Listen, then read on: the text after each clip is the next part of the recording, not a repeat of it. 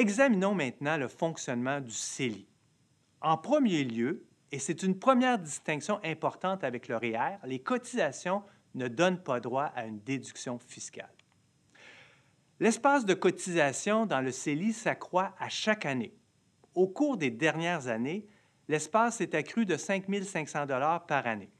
Au 1er janvier 2014, l'espace disponible était de 31 000 En 2015, l'accroissement sera de 5 500 majoré d'un facteur d'indexation. Pour avoir accès au CELI, le contribuable doit être âgé de 18 ans. Un autre signe distinctif du REER réside dans le fait que les retraits du CELI sont considérés dans la création d'un nouvel espace CELI. En bref, ce que l'on retire pourra être réinvesti plus tard dans le CELI. Cette mécanique que nous illustrerons plus tard par un exemple est fort important et témoigne bien de la souplesse que le législateur a souhaité donner à l'outil. Tout comme pour le REER, tous les revenus générés sous l'abri du CELI sont exemptés d'impôts. Quant aux caractéristiques des placements pouvant être logés dans un CELI, ils sont essentiellement les mêmes que pour le REER.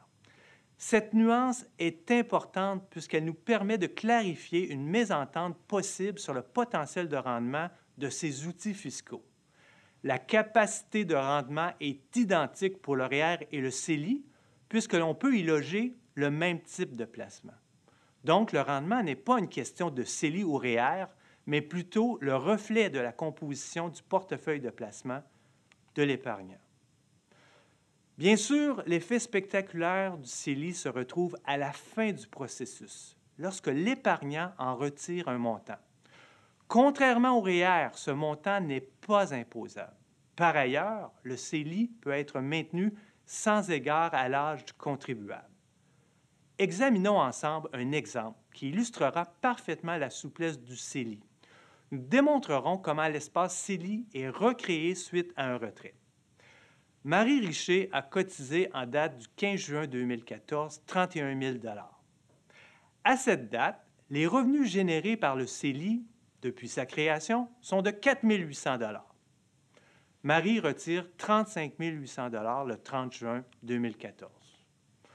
On peut se demander alors quel montant Marie pourra-t-elle cotiser à son CELI en 2015? La première étape est de définir le CELI inutilisé au 31 décembre 2014. Celui-ci est de zéro, puisque Marie avait cotisé le montant maximum de 31 000 Ensuite, nous y ajoutons le CELI retiré en 2014, soit 35 800 Nous devons également considérer l'ajout pour l'année 2015, qui sera acquis par tous les Canadiens âgés de 18 ans et plus, soit 5 500 Prendre note que ce montant sera indexé. Ultimement, c'est un montant renouvelé de 41 300 qui pourra être cotisé ultérieurement par Marie Richer dans son CELI. Maintenant, nous allons prendre d'assaut la brûlante question. Finalement, REER ou CELI? La déduction fiscale du REER ou l'exemption fiscale inconditionnelle du CELI? Pour arriver à identifier les variables pertinentes à la comparaison REER versus CELI, nous allons tout d'abord déterminer le point d'indifférence, c'est-à-dire le contexte où il n'y a pas de différence entre un placement dans un REER ou un CELI. Deux hypothèses doivent être mises en avant-scène. Tout d'abord, que le rendement est identique, que le placement soit dans un REER ou un CELI.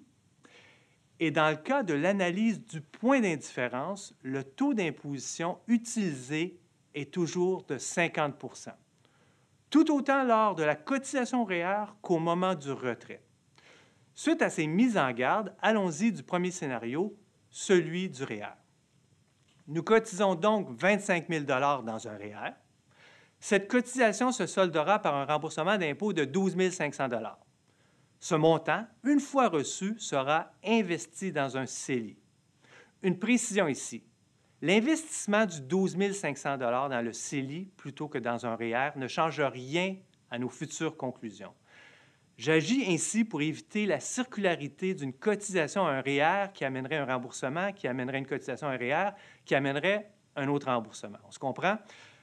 Poursuivons. La cotisation au REER de 25 000 sur une durée de 30 ans avec un rendement de 5% générera un revenu de 83 048 La valeur du REER sera alors de 108 048 Lors du retrait de ce 108 048 000 du REER, nous aurons à payer un impôt de 50% qui fera en sorte que le montant net d'impôt sera de 54 024 Pour bien intégrer la valeur de la déduction fiscale initiale suite à la cotisation de REER de 25 000 nous devons évaluer la valeur du remboursement d'impôt qui a été immédiatement investi dans le CELI, donc 12 500 sur une période de 30 ans, avec un rendement de 5% générera des revenus de 41 524 La valeur du CELI sera alors de 54 024 Ce montant est bien sûr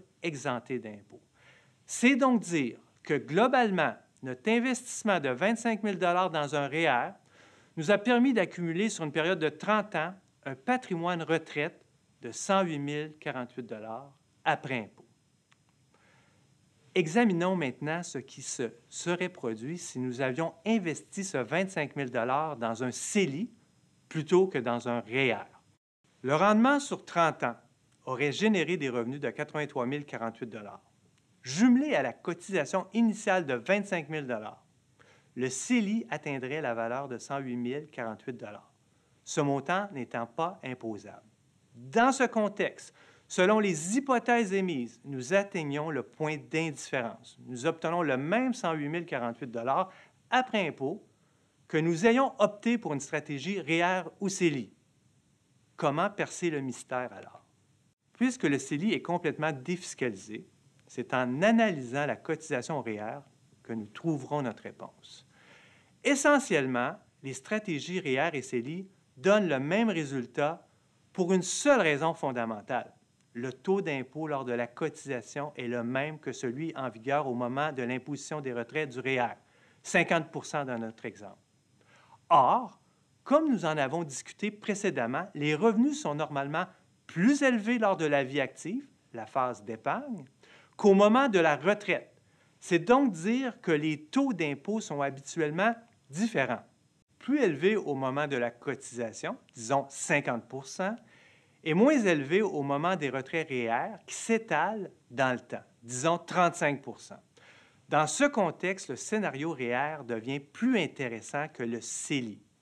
Dans notre exemple, les retraits REER, après un impôt de 35% sont de 70 231 Globalement, le scénario REER permet alors de constituer un patrimoine retraite de 124 255 après impôt, comparativement à 108 048 pour le CELI.